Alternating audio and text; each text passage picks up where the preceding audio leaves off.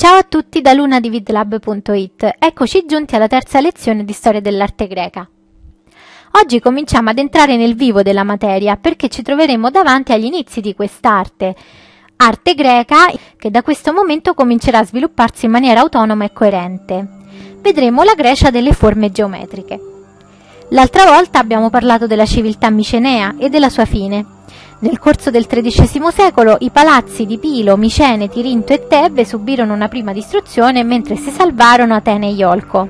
Ci fu poi una ricostruzione, ma di nuovo intorno al 1200 si ebbe una seconda serie di distruzioni.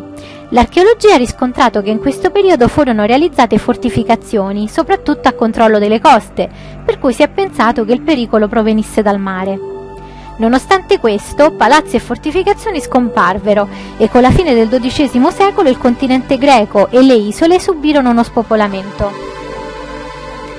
Da questo momento seguì un'epoca che è chiamata Età Oscura o Dark Age in inglese o ancora Medioevo ellenico, caratterizzata da una regressione generale dell'economia, dall'abbandono dell'agricoltura ed anche degli scambi commerciali. Per quel che riguarda i motivi di queste catastrofi si è pensato a calamità naturali, terremoti, incendi, seguiti da carestie.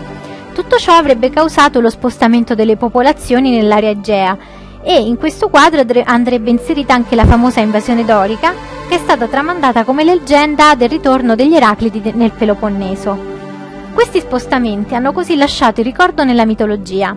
Nacque anche la tradizione sui nostoi, i ritorni degli eroi dalla guerra di Troia, senza entrare troppo nel merito, per non dilungarci troppo e per lasciare spazio all'approfondimento, in caso vi interessasse, è importante comunque sapere che proprio questa mobilità di popoli e in particolare di artigiani, come ceramisti e bronzieri, aiutò la Grecia ad uscire dall'età oscura e a vivere una rinascita che sarà compiuta nell'VIII secolo quando ci fu anche la grande colonizzazione in Occidente.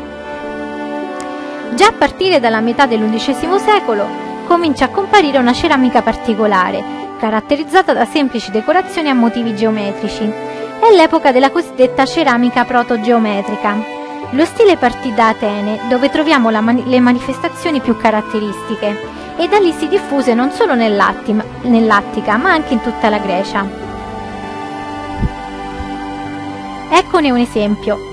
Le forme scelte dai ceramisti sono prevalentemente quelle atte a contenere liquidi, come le anfore, e vedete la decorazione semplicissima con questi cerchi concentrici e queste fasce. Altri motivi che si trovano sono semicerchi, quadrati, rombi, reticolati, zigzag. Nella sua semplicità questa decorazione è comunque precisissima. I cerchi sono perfettamente regolari e tutte le linee sono uguali nello spessore e parallele.